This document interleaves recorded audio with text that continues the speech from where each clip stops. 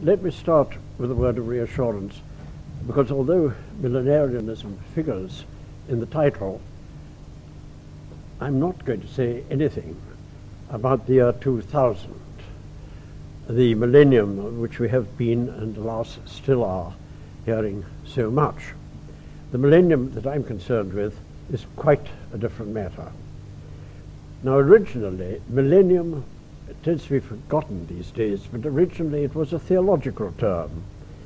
It referred to the thousand years during which, according to the book of Revelation, Christ will reign on this earth before the last judgment. Even in the book of Revelation, this millennium has nothing to do with the year 1000 or 2000 or indeed with any particular date. And in recent years, the meaning of millenarium has been widened still further. It's become customary amongst anthropologists and sociologists, and to some extent also amongst historians, to use the word simply as a convenient label for a particular kind of salvationism. And that's how I'm using the word. Now, I must indicate as best I can the kind of salvationism I have in mind. The movements that I'm going to look at, they differ widely from one another, but they all have certain features in common. The salvation that they envisage is always imagined as uh, three things. Firstly, it's imagined as collective, in the sense that it's to be enjoyed by the faithful as a group. It's not a matter of individual salvation, it's a matter of collective salvation. And secondly, it's terrestrial, in the sense that it's to be realized on this earth and not in some otherworldly paradise. And thirdly, it is total. Uh, total in the sense that it's utterly to transform life on this earth. So that the new dispensation, the millenarian dispensation, if you like, will be no mere improvement on the present lamentable state of affairs, but it will be perfection itself. Uh, that applies to, I think those three things apply to all movements that are commonly nowadays called millenarian. It certainly applies to the ones that I'm going to consider. And of course, millenarianism in this sense, which is, of course, as I've said, a broad sense, but I think it's precise enough. It's playing a great part in the world today. But there's nothing new in that. And in this talk, I'm going to consider two very different kinds of millenarian movement that flourished in Western Europe between the late 12th and the early 16th century. And when I've done that, assuming that I still got any audience at all, I shall try to comment briefly on what seems to me to be the sociological significance of those movements. Now, the earlier of my two kinds of millenarianism is known to historians as Joachimism. And Joachimism was essentially a protest against the growing wealth and worldliness of the church.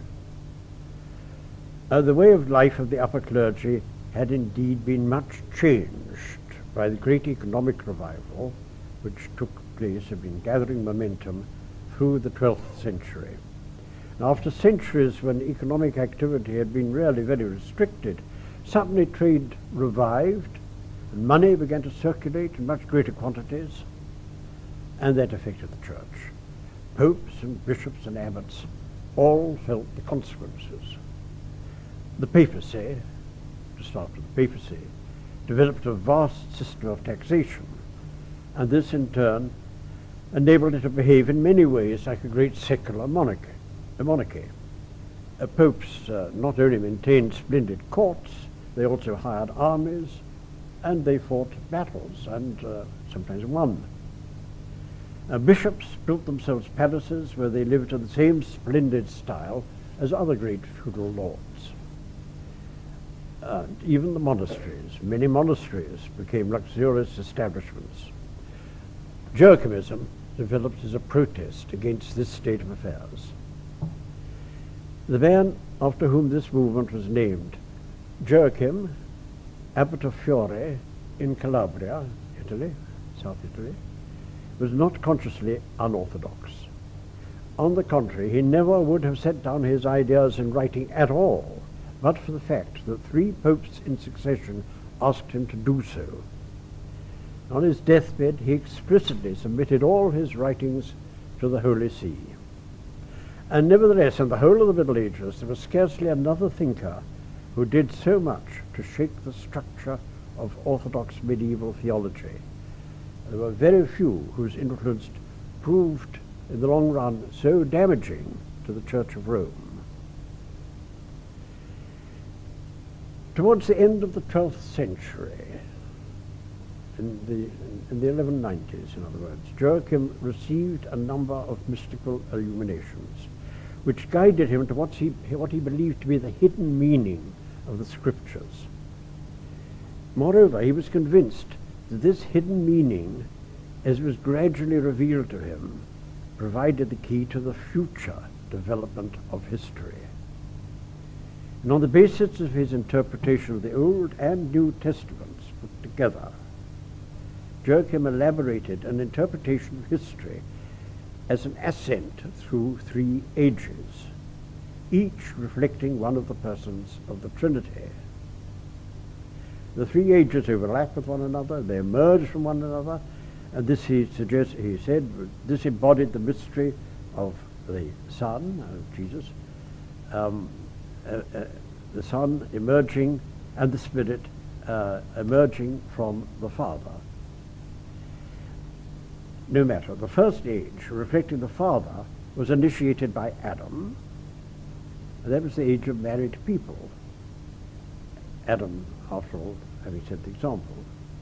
The second age, reflecting the Son, Jesus, began long before Jesus with the prophet Isaiah, and this was the age of clerics. Uh, that by the way, because Joachim's interest was really concentrated above all on the third age, reflecting the Spirit. This third age began to emerge already in the age of the Father with the appearance of the prophet Elisha. It unfolded further in the age of the Son with the appearance of St. Benedict, and it's to complete its unfolding in the near future. As the first age was the age of the married, the second was the age of clerics, so this third age was to be the age of spiritual monks. He regarded the, the Benedictines, the Benedictine order, as the nearest approach. They were the precursors of these monks to be. And the third age, this final, it will be the final age. It will lead to the end of the world and to the last judgment. The spiritual monks represent the absolute triumph of the spirit over the flesh. They are contemplatives, wrapped in mystical ecstasy, wholly indifferent to the things of this world. In their spirituality, he said, they are as far superior to their predecessors, the Benedictines, as Christ was to the prophets. And through their spirituality, they were going to transform the world. And with great eloquence, Joachim indicates the differences between the three ages. The first age was passed in slavish servitude, he says. The second in filial submission. But the third age will be the age of liberty. The first age was the age of fear. The second was the age of faith. But in the third age, love alone will reign. What impressed men of the 13th century was, above all, Joachim's account of how and when the world was to undergo its final transformation. And Joachim was ready for this. He computed the duration of the second age as 42 generations, each lasting 30 years from the birth of Christ. This meant that the third age must emerge from its period, as it were, of incubation and attain full development between 1200 and 1260. There would, he said, be a time of great tribulation. That is normal with millenarian fantasies. But at the same time, spiritual understanding would increase. And, would find, and finally, the third age would come in its fullness. Now, in all this, there were explosive potentialities.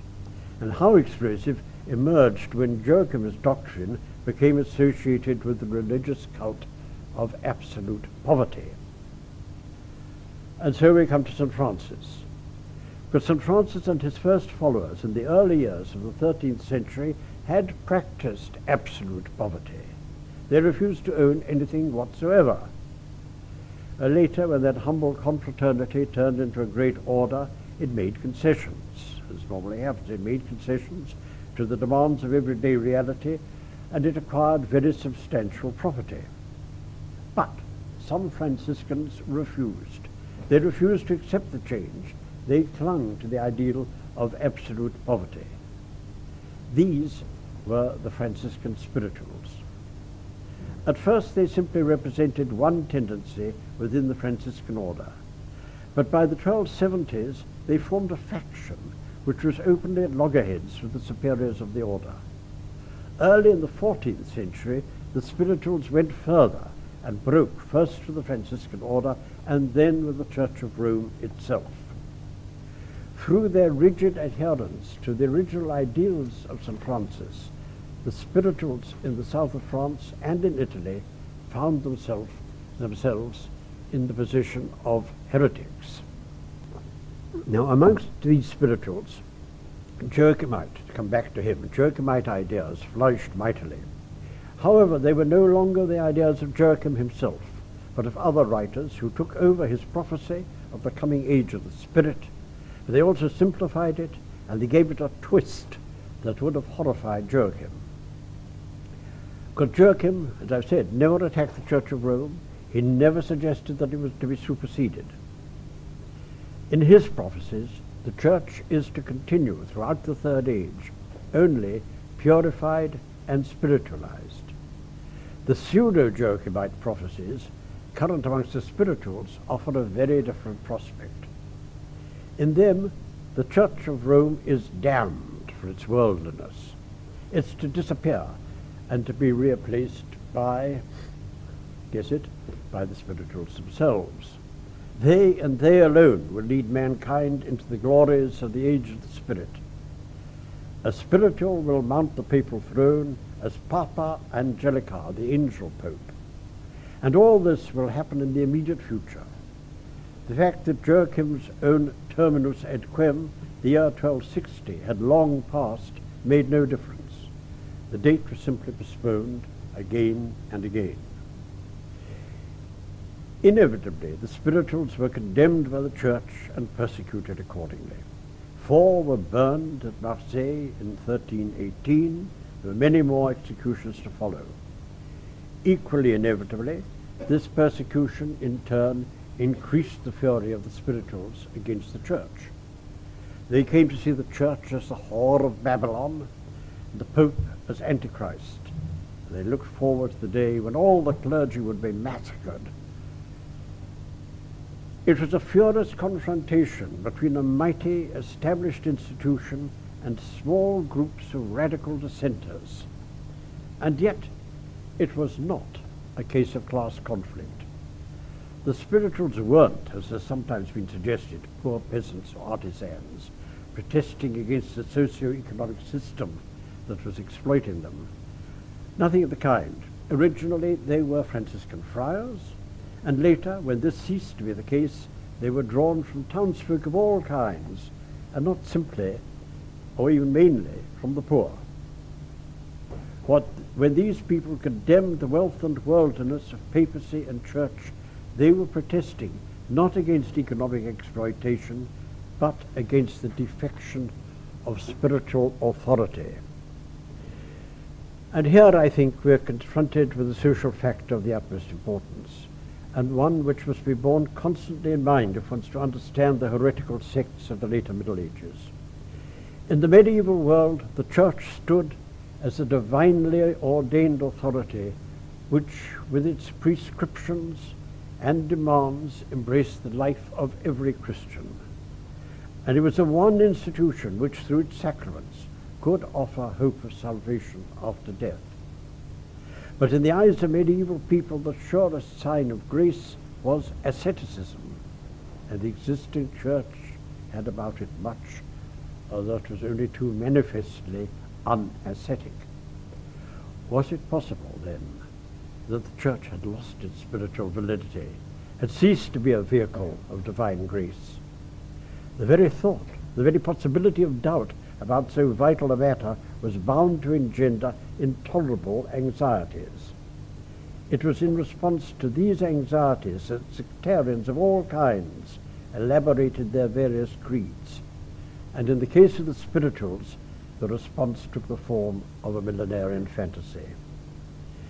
In the view of the spirituals, the authority which had been forfeited by the existing church was to pass to a new poverty-loving church of the third and last age, represented by themselves. And as in all millenarian fantasies, the imperfect existing order was to be replaced not by one less imperfect, but by perfection itself. The age of the Spirit was to be an age of supernatural bliss and harmony, while the spirituals themselves were, in their own eyes, almost supernatural beings, endowed with divine insight, such as had hitherto been enjoyed only by Christ himself. That's the first of my two kinds of medieval millenarianism, and I think you will, without much difficulty, see parallels amongst the millenarian movements of today. But it's time now to consider another form of millenarianism, which appeared towards the close of the Middle Ages and which was revolutionary in the modern sense of the word. In part, it was derived from a very ancient idea. Already in the ancient world, it was a commonplace that once upon a time, long, long ago, human beings had lived in a state of total equality and community, holding all things in common, knowing nothing of mine or thine. Now this idea was taken over by the Catholic Church the church fathers, like the pagan writers, held that this total equality was the original intention of God. From them, the idea passed to the theologians of the Middle Ages. But all this was a matter of theory. Sorry, excuse me. All, all this was a matter of theory only.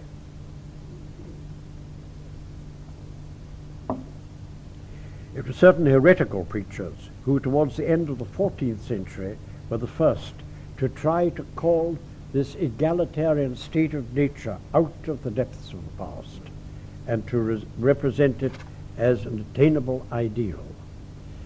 And in doing so, they provided the basis for a new revolutionary form of millenarianism. From then on, the millennium could be pictured as a recreation of that lost golden age where social classes and private property were unknown. The close of the Middle Ages were accompanied by great social upheavals. These upheavals were not caused by any millenarian idea, far from it. But it is a fact that while they were taking place, there also appeared various extremist groups which really were convinced that at any moment an egalitarian communistic millennium would be established by the direct intervention of God. I'll look at a couple of examples. We find such groups, for instance, in the great Hussite Revolution, which broke out in Bohemia in 1419. Now here the chief preacher was one Martinek Hauska.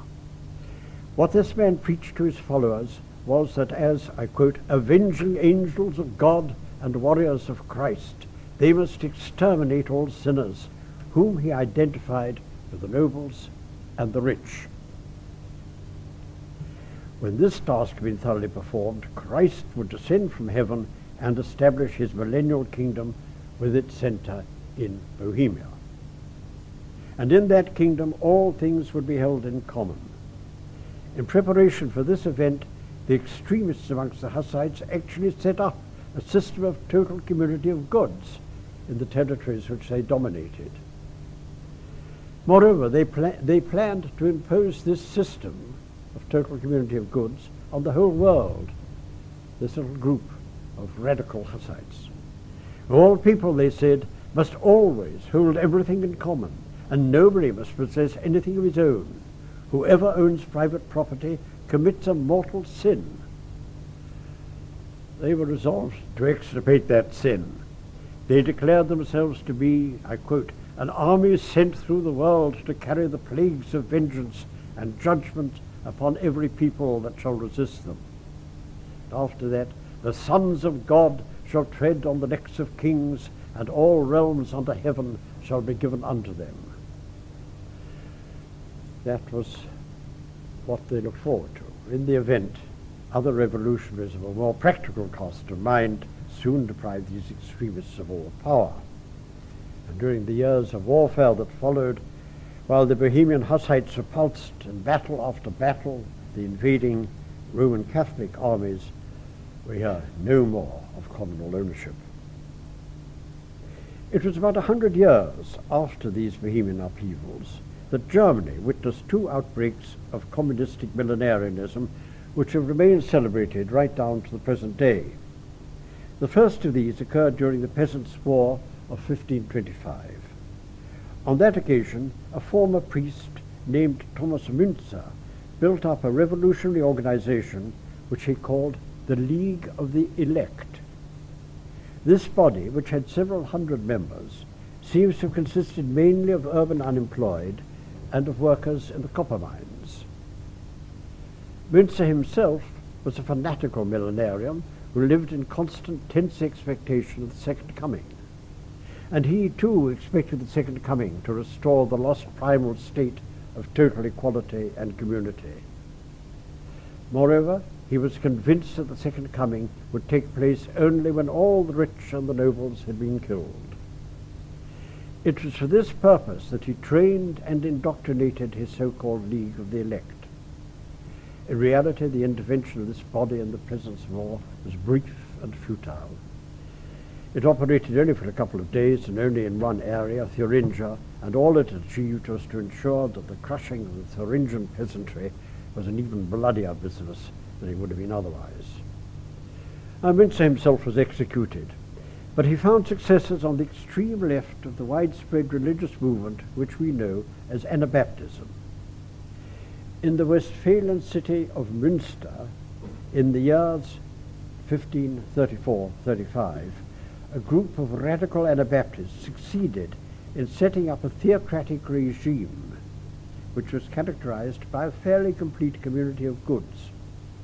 What enabled them to do this was the existence in nearby Holland and Frisia of a large proletariat which was living in, in a state of perpetual insecurity these people streamed into Münster. They soon dominated the town. Besieged by a coalition of the neighboring towns and principalities, the communistic New Jerusalem of Münster held out through incredible hardships. And in fact, it never did surrender. After part of the, of the population had starved to death, the town was stormed and all the surviving males were massacred. What gave these people the strength to endure so much was the doctrine which they had been taught by their leaders, Jan Matthys and Jan Bockelson. And the purport of that doctrine was yet again that Christ was about to reappear on earth and put himself at the head of the faithful of Münster. Then he and his army would kill all the great ones and establish community of goods throughout the world. What is one to make of these late millenarian movements of the 15th and 16th centuries.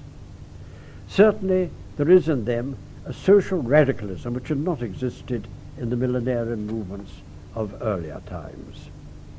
For this reason, they've sometimes been interpreted as expressions of a widespread popular craving for a totally egalitarian, quasi-communistic order.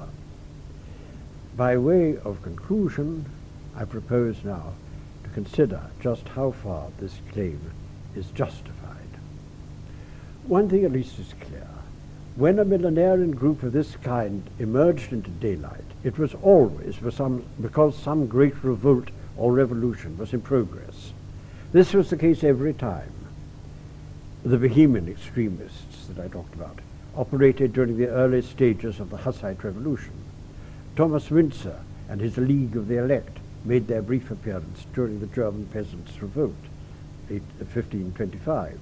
The same can even be said of the radical Anabaptists of Münster, because before they established their New Jerusalem, uh, there had already been a series of revolts, not only in that town, but all through various states round about. Um, uh, that much is generally recognized. What is not generally recognized is how little these extremist groups had in common with the mass risings to which they attached themselves. Yet the contrast leaps to the eye as soon as one considers what kind of objectives these mass movements set themselves. I'm talking now of the mass movements. What were the objectives of the Hussites? Well, they were concerned to expropriate the church in Bohemia, and incidentally the German aliens who dominated that church, and also to increase the status and independence of the laity as against the clergy.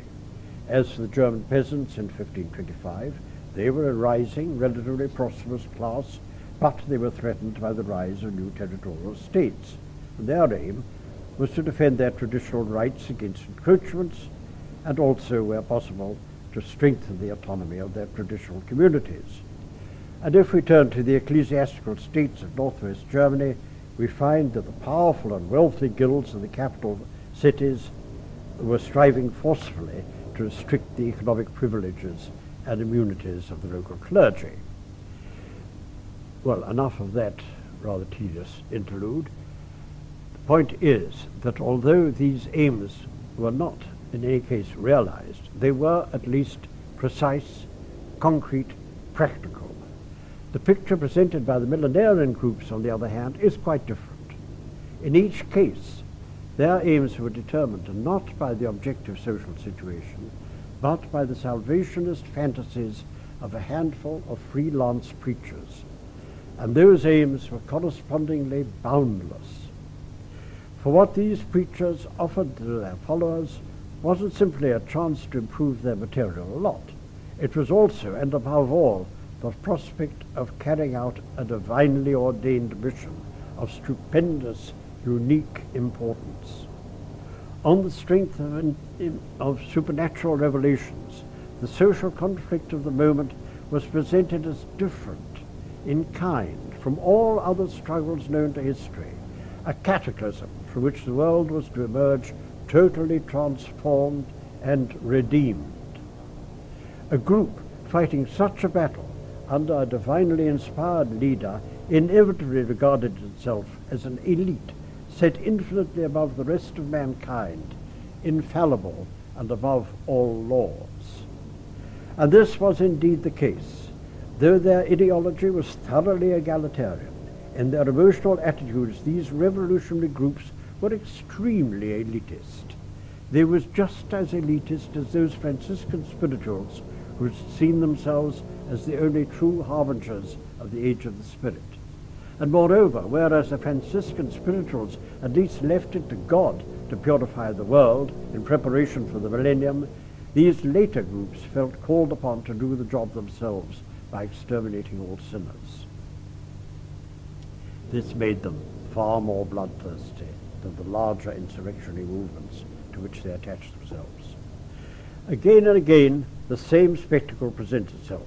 A band of a few hundred dedicated enthusiasts struggling to master, in the interests of, of its own apocalyptic fantasy, a vast popular movement numbering tens or hundreds of thousands.